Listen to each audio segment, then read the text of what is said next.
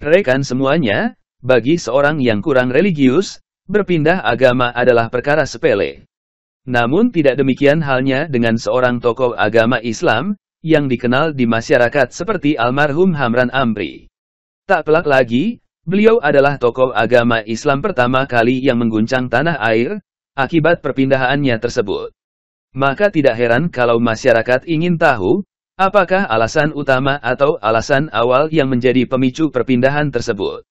Untuk menjawab pertanyaan tersebut, beliau menyusun buku kesaksian rohani berjudul, Allah sudah pilihkan buat saya, hidup baru dalam Kristus.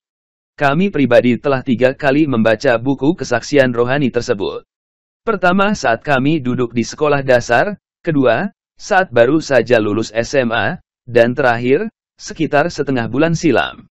Berbeda dengan sebelumnya, saat ini, kami sungguh-sungguh tidak percaya dengan alasan yang diajukan oleh almarhum Hamran Amri tersebut.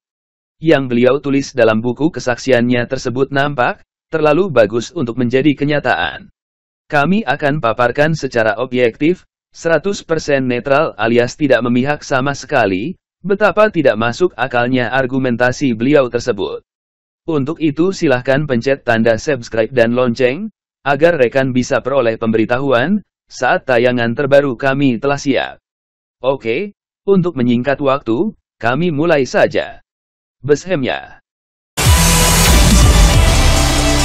Entah kenapa, selalu saja kesaksian rohani perpindahan agama dari para tokoh agama, tak peduli apa agama mereka itu, selalu saja dikatakan bahwa perpindahan tersebut dimulai saat mereka mencoba membandingkan ketuhanan antara agama lama dengan agama baru. Bila faktor utama yang dibandingkan itu adalah tentang konsep ketuhanan, terus kemudian tokoh agama Islam berkesimpulan bahwa konsep agama Kristen itu lebih mudah dicerna, alias lebih masuk di akal, sehingga beliau memutuskan berpindah saja ke Kristen, maka argumentasi tersebut, bagi kami pribadi, terasa konyol dan bahkan terdengar, maaf, dungu. Itulah kesan kuat yang kami peroleh, saat kami membaca kembali kesaksian rohani dari almarhum Hamran Amri. Di tengah tudingan miring dari kaum muslim, bahwa Tuhan Kristen itu ada tiga, almarhum Hamran Amri melontarkan argumentasi konyol yang super spektakuler. Beliau menegaskan dengan super yakin, bahwa Tuhan Kristen itu adalah Tuhan yang paling tauhid. Dengan kalimat lain beliau berkata, bahwa tauhid paling sejati itu hanya bisa diperoleh di dalam kekristenan. Almarhum menyebutnya sebagai tauhid Kristiani. Ini jelas-jelas konyol tak terkira. Rekan semuanya, jangan pernah ada yang katakan, bahwa Kristen itu agama tauhid. Itu salah besar, bahkan salah fatal yang super konyol. Tidak bisa kita berkata bahwa, kita mempunyai Honda yang mereknya Yamaha, atau kita mempunyai Sanyo yang mereknya Hitachi. Katakan saja, bahwa kita mempunyai sepeda motor yang mereknya Yamaha, atau kita mempunyai pompa air yang mereknya Hitachi. Di tengah gencarnya kampanye keunggulan agama Tauhid, yang lazim dilakukan kaum muslim di mana pun mereka berada, seolah tanpa sadar, kaum Nasrani terhanyut ikut terbawa arus kampanye tersebut. Tauhid itu adalah suatu merek paten, yang melekat erat dengan Islam. Jadi jangan berkata, bahwa karena kata tauhid itu secara etimologi berarti penyatuan, maka pihak Kristen bisa menggunakan istilah tersebut. Perhatikan. Saat suatu kata telah menjadi merek paten, maka mutlak, pihak di luar pemilik merek paten tidak boleh memakai istilah yang telah menjadi paten tersebut. Contoh yang paling kasat mata adalah kata aqua. Jangan pernah bermimpi bahwa karena kata aqua itu ada kaitannya dengan air, maka kita bisa seenak kita membuat air minum bermerek Aqua. Sebab bila itu terjadi, maka rekan pasti akan diseret ke pengadilan, seperti yang pernah terjadi sebelumnya. Bila yang kita maksud itu adalah, Tuhannya cuma satu alias Tuhannya cuma tunggal, maka yang seperti itu termasuk di dalam kelompok unitarian. Di dalam kelompok unitarian ini berdiam berbagai aliran keagamaan, misalnya agama Islam maupun agama saksi Jehovah ataupun saksi Yahweh. Perhatikan, agama Kristen, apa pun denominasi gerejanya, tidak ada yang termasuk di dalam kelompok unitarian ini, sebab agama Kristen itu termasuk di dalam kelompok Trinitarian. Disebut Trinitarian, karena semua kaum Nasrani itu mengimani Trinitas, atau Tritunggal, yang artinya adalah percaya pada satu Tuhan dengan tiga pribadi. Tidak seperti halnya Unitarian yang isinya bisa beragam agama, maka Trinitarian ini bersifat unik, karena hanya Kristenlah yang mengimani konsep Tritunggal tersebut. Ini persis sama dengan uniknya konsep keselamatan di dalam Kristen. Di dunia ini, hanya Kristenlah yang punya konsep keselamatan lewat penebusan. Karena itulah, maka konsep penebusan itu baru bisa terjadi, bila Tuhan Kristen itu bersifat Tritunggal. Agama saksi Yehova, maupun saksi Yahweh juga mengaku aku, mereka itu menerima konsep penebusan. Namun itu mustahil terjadi. Jadi bagi yang menolak Trinitas, sesungguhnya, itu sama saja dengan menolak penebusan. Bila menolak penebusan, lantas untuk apa mereka itu masih mengaku sebagai umat Nasrani? Seperti halnya Tauhid itu adalah merek patent Islam, maka Trinitas dan penebusan itu, merupakan satu kesatuan yang menjadi merek patent agama Nasrani. Untuk itu, sebaiknya umat Nasrani mestinya cukup percaya diri, agar tidak tergerus kampanye tauhid. Hidup ini adalah pilihan, silahkan pilih tauhid, atau trinitas dengan penebusan Yesus. Jangan dicampur aduk, sebab itu namanya sinkretisme. Sampai di sini, rekan tentunya maklum kenapa kami sebut, bahwa alasan utama, kepindahan agama dari almarhum Hamran Amri tersebut 100% dungu. Betapa absurdnya mengatakan, bahwa alasan utama kepindahan beliau dari Islam ke Kristen itu, karena pertimbangan tauhid. Lah, kalau alasan utamanya itu adalah tauhid, mestinya orang Kristen berbondong-bondong ke agama Islam, sebab hanya Islam yang mempunyai konsep tauhid. Begitupun dengan bila alasannya itu ingin peroleh penebusan di dalam Kristus Yesus, maka semua pemeluk agama lain harus berbondong-bondong masuk ke agama Kristen, sebab hanya Kristenlah yang punya konsep penebusan. Sampai di sini rekan mungkin akan bingung, bukankah almarhum itu menolak Trinitas? Jadi jika menolak Trinitas, lantas apa bedanya beliau dengan kaum saksi Yahweh? Berbeda rekan semuanya. Itu berbeda 180 derajat. Almarhum dan semua tokoh agama Islam lainnya yang memeluk Kristen itu, sesungguhnya saat itu dalam proses untuk menuju Kristen sejati. Ini berbeda dengan penganut, atau bahkan simpatisan dari saksi Yahweh, yang semula bisa jadi beragama Kristen sejati, namun kemudian terus berproses meninggalkan agama Kristen. Jangan samakan tokoh agama Islam tersebut, dengan Muslim abangan yang berpindah ke Kristen. Mantan Muslim abangan jauh lebih mudah menerima konsep Trinitas, sebab konsep Tauhid tidak menancap erat ke hati sanubari mereka. Ini kentara sekali dari perjuangan almarhum, yang rindu menerima Kristen sepenuhnya, namun terkendala oleh indoktrinasi, yang masif disuntikan paksa ke benak beliau sejak masih kecil. Dari kesaksian almarhum tersebut kita tahu, betapa kuat hasrat beliau untuk menerima ajaran Kristen sesungguhnya. Berulang kali almarhum berkonsultasi dengan bermacam-macam pendeta.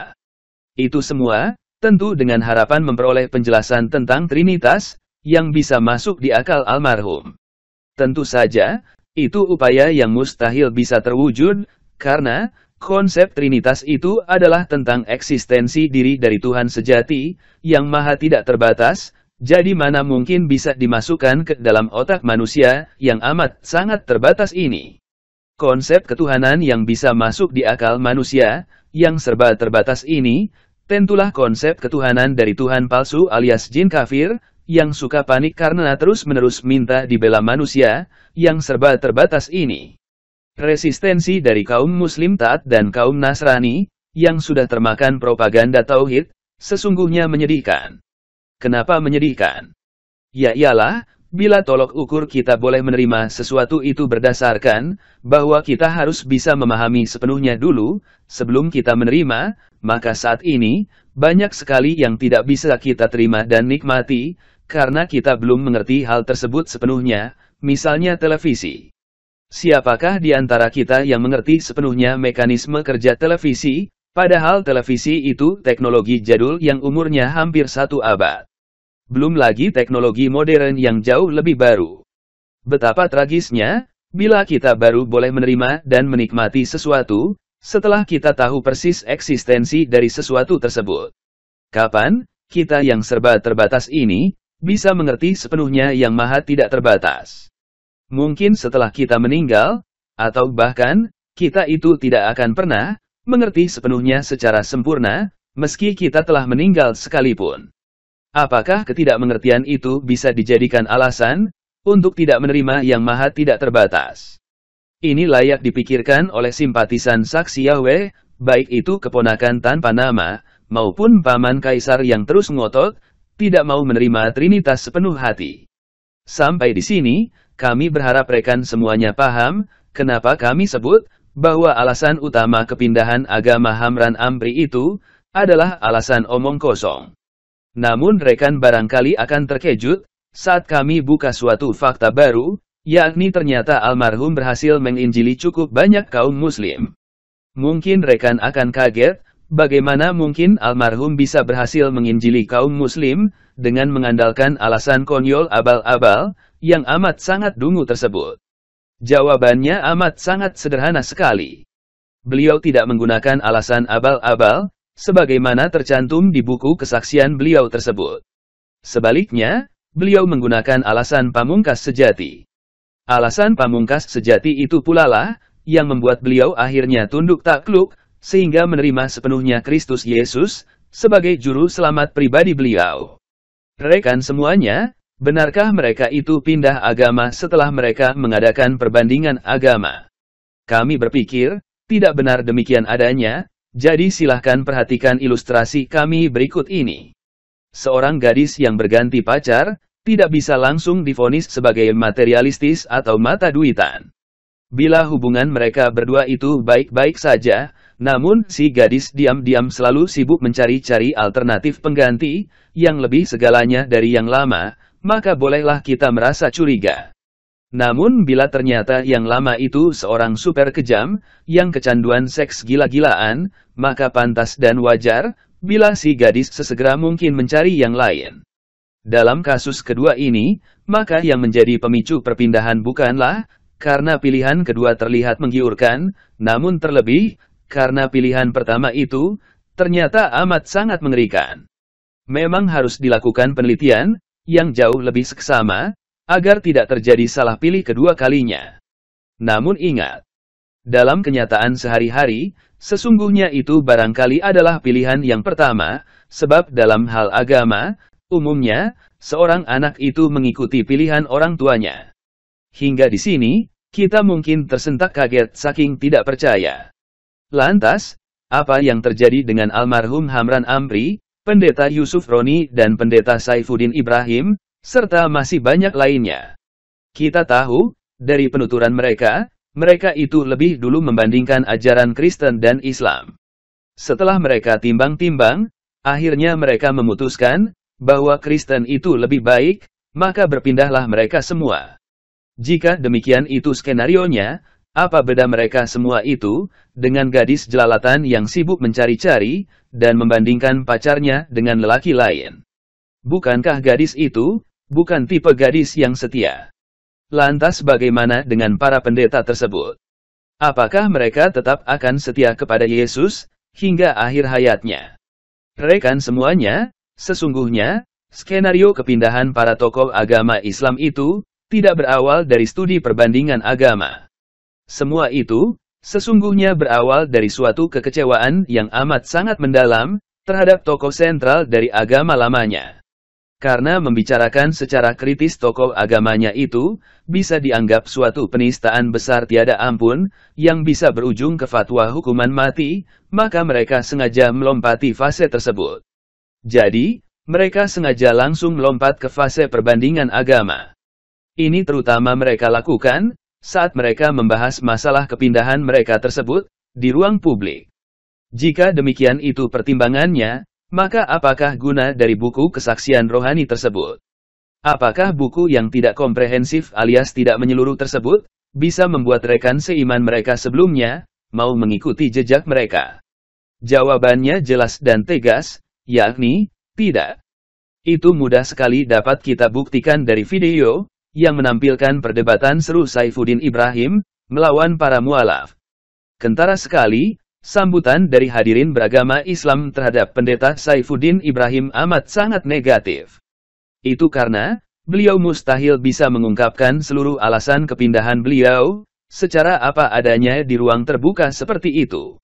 Jika lewat buku tidak efektif, lewat debat resmi besar-besaran malah dibully, lantas kenapa pendeta Saifuddin Ibrahim masih juga ditakuti oleh para tokoh muslim yang menentang penginjilan beliau?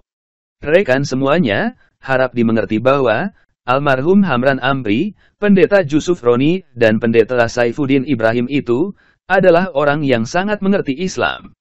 Jadi, mereka semua itu sesungguhnya tahu persis plus minus dari agama Islam.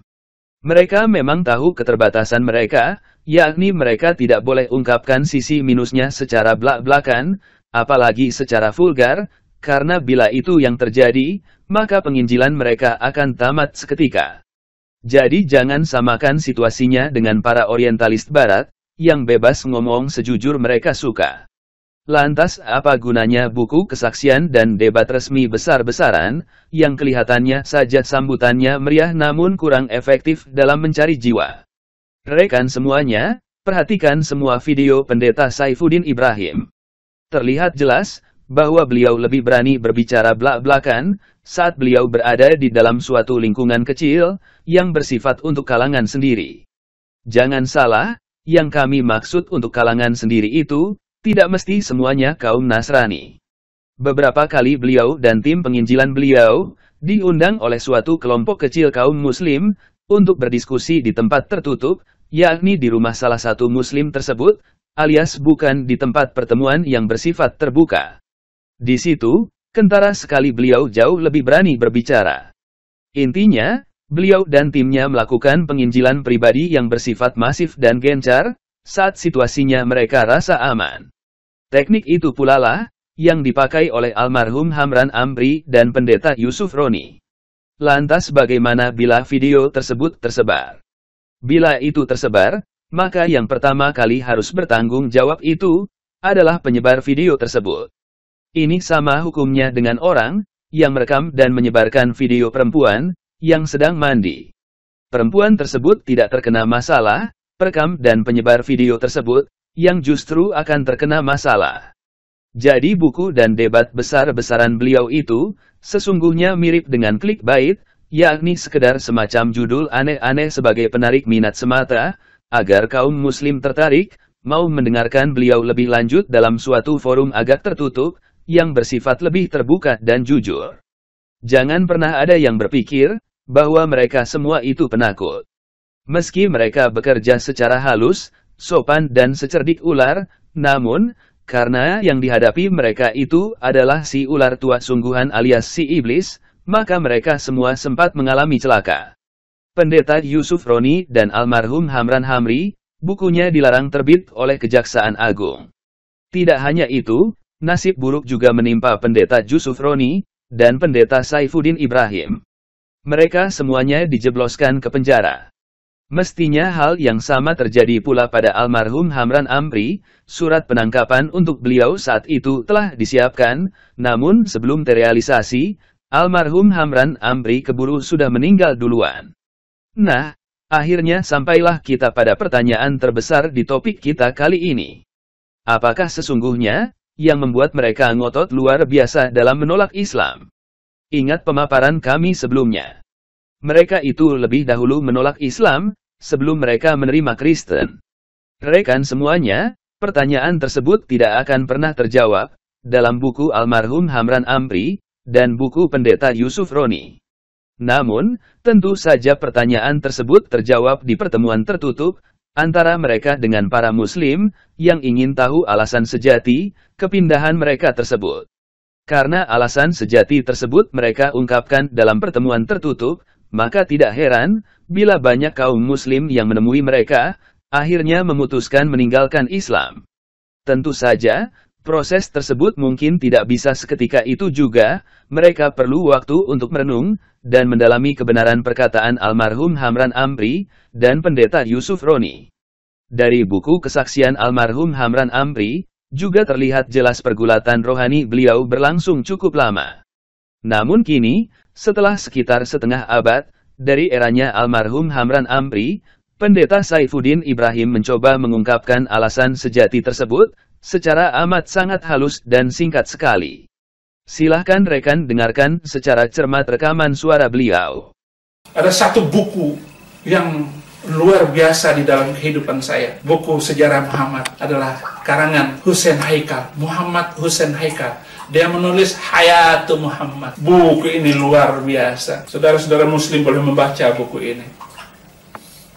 Betapa ajaibnya tulisan itu. Empat, lima halaman saya baca, air mata saya keluar.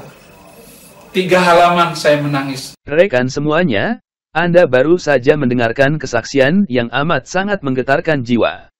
Sekitar tiga tahun silam, kami melihat dengan mata kepala kami sendiri, bagaimana seorang muslimah langsung rontok imannya, hanya dalam waktu sepuluh hari setelah mendengarkan, pengungkapan realita dan fakta, yang amat sangat mengerikan tersebut. Mungkin ada yang menganggap kesaksian pendeta Saifuddin Ibrahim tersebut hanyalah dusta. Itu karena mereka menganggap, bahwa pendeta Saifuddin Ibrahim dikenai hukuman penjara, karena telah melakukan penistaan agama, memfitnah dan pencemaran nama baik. Padahal tidak, beliau tidak pernah dikenai tuduhan berlapis-lapis, yang amat sangat berat tersebut. Beliau hanya dikenai tuduhan sepele, berupa ujaran kebencian, seperti halnya Ahmad Dhani. Maka tidak heran, bila Ahok berseloroh saat bertemu beliau.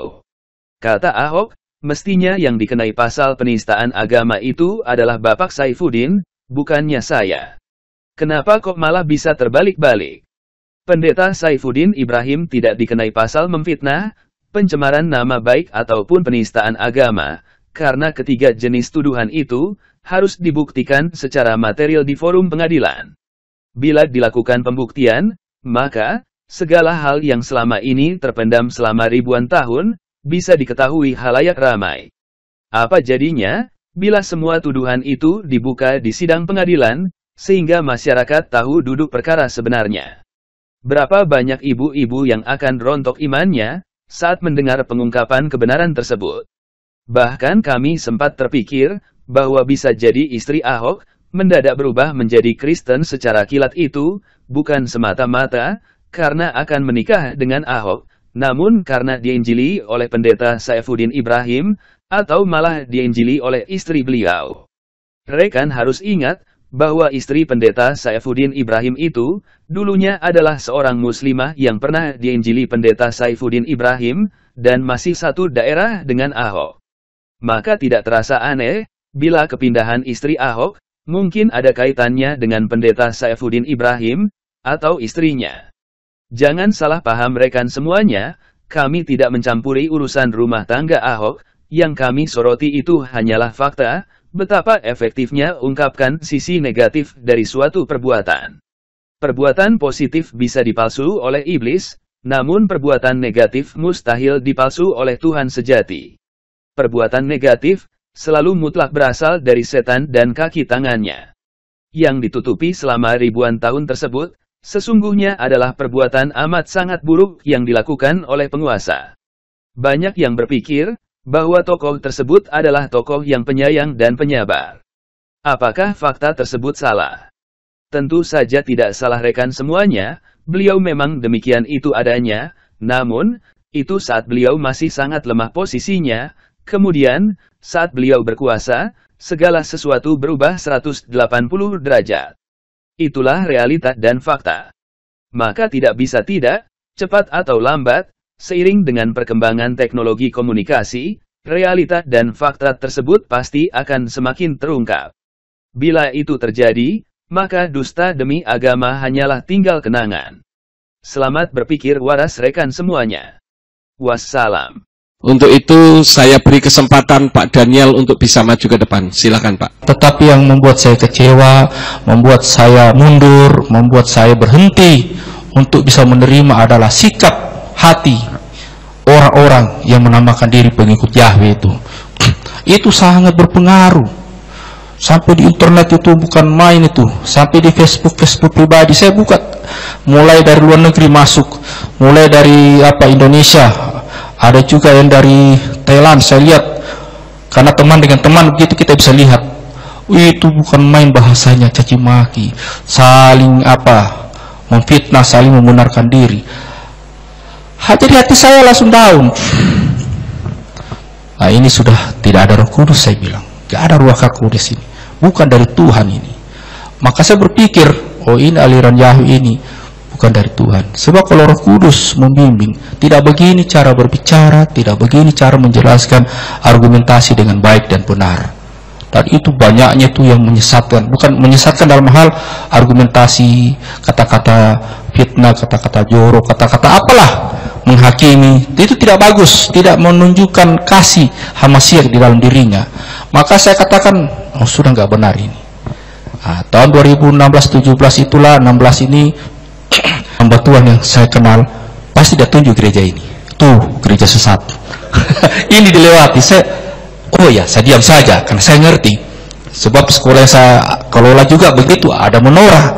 Mereka nggak tahu kalau saya juga di situ. Nah, saya diam saja tapi saya tidak tahu kalau ternyata itu adalah gerejanya Bapak Pendeta Yakub Sulistyo itu nanti setelah kemarin diantar oleh Depi oh ini dah yang dibilang gereja sesat tadi Pak Daniel sudah menceritakan bagaimana debat-debatnya penyembah Yahweh ini mengerikan dan mereka garang-garang. Sepertinya kalau bisa orang lain ditelan begitu. Dan ini tidak memberkati orang yang membaca ataupun yang melihat perdebatannya.